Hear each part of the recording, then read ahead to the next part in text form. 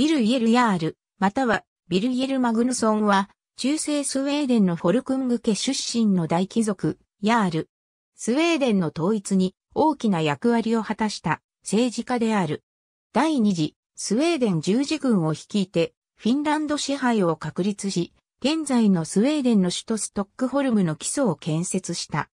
彼自身はスウェーデン王位にはつかなかったが、大陸やイングランドに倣ってスウェーデン公を名乗った。ビル・イエル・ヤールは少年期までエステル・イエートランドのヤルボで育ったことが知られているが、正確な生誕日は分かっておらず、様々な歴史書もこの点について矛盾を抱えている。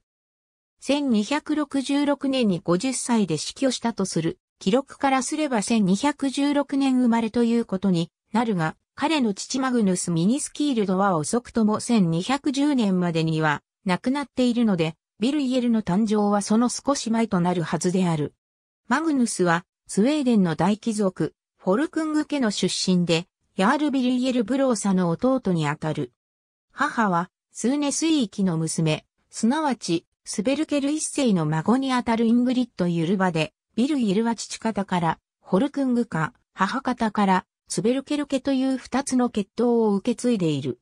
兄のエスキル、カール、ベントは皆ビルイエルより、かなり前に生まれているため、腹違いの兄弟である可能性が高い。こうした様々な血縁を有していたことが、後のビル・イエルの生き残りと栄達に役立つこととなる。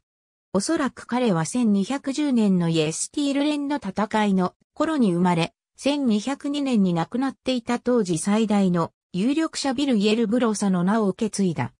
エリクの年代記によれば、1230年代にエリク11世の姉インゲボリと結婚したことから、他の求婚者との激しい抗争が始まった。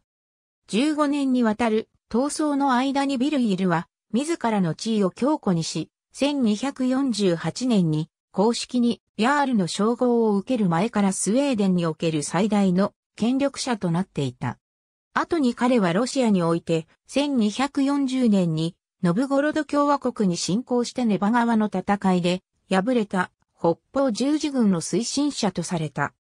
これに関する記述はスウェーデンのみならず、ドイツやフィンランド、バルト海沿岸など、他国の記録では一切確認できないが、16世紀に書かれたロシアの年代記は、スウェーデン王、ビルゲルが、ノブゴロド公、アレクサンドルネフスキーの手により顔を負傷したと述べている。ビルイエルの頭蓋骨には、刀傷の形跡があり、これが戦闘で、場合によっては、アレクサンドルネフスキーによって付けられたものである、可能性はある。しかし14世紀に、ロシアで書かれた、ノブゴロド第一年代記には、ビルイエルの記述がない。また1240年当時、口述する通りスウェーデンは、内部構想やノルウェーとの紛争を抱えており、ビルイエルらがノブゴロドへ大規模な遠征を、しかも、ノルウェーを含むスカンディナビア連合軍のような体制で行ったとするロシア側の記述、さらにはネバ側の戦い自体の存在も疑問視されている。ビルイエル・ヤールの紋章ビルイエル・ヤール像ザグレート、プリンスビルガージャー1248年頃、教皇特使のサビーナ司教、クリエルモスーキ教がスウェーデンを訪れる。この頃ビルイエルは、スウェーデン各地の支配者にカトリックの普及を進めていた。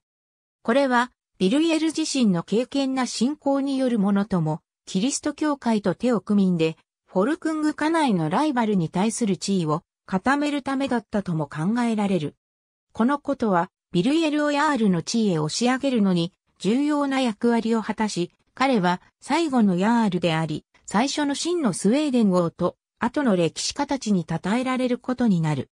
ビルイエル死後に成立したフォルクング長期には、教会は一大政治勢力となり、大貴族の没落とスウェーデン王国とローマ教皇の深い関係につながった。1247年、全王クヌート2世の子、ホルムイエル・クヌートソンがスウェーデン王位を要求、フォルクング家勢力と共に反乱を起こした。フォルクング家出身でありながら、国王エリク11世と遠赤関係にあるビル・イエルは、国王軍を率いて、スパルサートラの戦いで、反乱軍を撃破した。ホルムイエルは、イエストリークランドに逃れたが、翌1248年にはビルイエルに捕らえられ、裁判にかけられた後斬首された。1249年、ビルイエルは数十年にわたったスウェーデンとノルウェーの紛争を終結させた。この対立は1225年にノルウェー人がベルムランドに侵入して以来の根深いものであったが、戦闘をやめ、互いの敵の支援や保護を禁止するルードゥサの和訳が結ばれ、ビルイエルの娘で11歳だったリキサとノルウェー王ホーコン4世の長子ホーコンとの結婚も取り決められた。その後、ビルイエルは第二次スウェーデン十字軍を率いてフィンランドへ遠征し、支配を確立した。1250年にエリク11世が死ぬと、彼の甥にあたるビル・イエルの息子、バルデマールがスウェーデン王に選出され、ビル・イエルは摂政として死ぬまでスウェーデンの政治を行った。1252年にヘレバザブローの戦いで再びフォルクング島を破った。1254年に妻のインゲボリが死去した後、ビル・イエルは1261年にホルシュタイン伯アドルフ4世の娘メヒティルドと再婚する。メヒティルドはデンマーク王アーベルの日だったが、1252年にアーベルが戦死したことで未亡人となっていた。1266年10月21日、ビルイルはベステルイエートランドのジャルバロンで死去した。墓はバーンヘム修道院にあり、2002年5月に調査のため開封された。1252年にビル・イエルが書いた2通の手紙が残っているが、一方は、ウップランド西部メーラ連湖の東に存在する諸島に触れ、もう一方ではその地理的好条件について説明している。これが、後のスウェーデンの首都ストックホルムに関する最小の記述である。考古学調査ではより以前に建設された防御施設の遺構が発見されているが、それらが13世紀半ばまでにどれほど残存していたのかについては議論がある。